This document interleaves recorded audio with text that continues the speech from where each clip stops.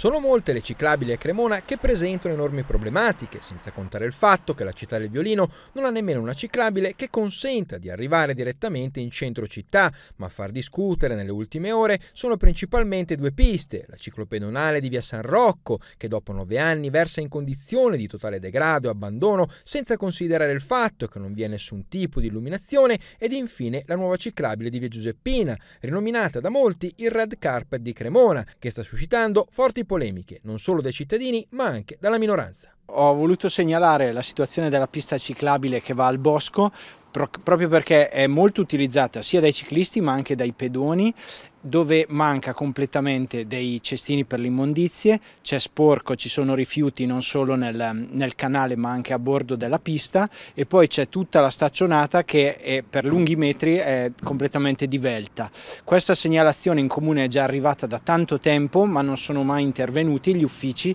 allora ho presentato un'interrogazione